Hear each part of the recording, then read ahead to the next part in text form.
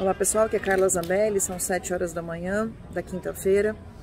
É, como houve ataques na Ucrânia, ataques militares na Ucrânia confirmados, é, o nosso gabinete vai disponibilizar aqui o telefone e endereço da Embaixada Brasileira na Ucrânia, em Kiev, onde vocês brasileiros que estiverem aí e quiserem sair do país podem procurar a Embaixada, que ela vai providenciar um transporte terrestre para vocês até um lugar seguro, de onde sairá um avião para o Brasil para a repatriação dos brasileiros que quiserem voltar. Uh, tivemos notícias de alguns brasileiros que têm família, enfim, emprego e não vão sair do país por enquanto, mas aqueles que precisarem de qualquer coisa, procurem nosso gabinete e a gente vai dar a instrução para vocês. De qualquer forma, a gente coloca aqui nesse post o endereço e telefone da embaixada.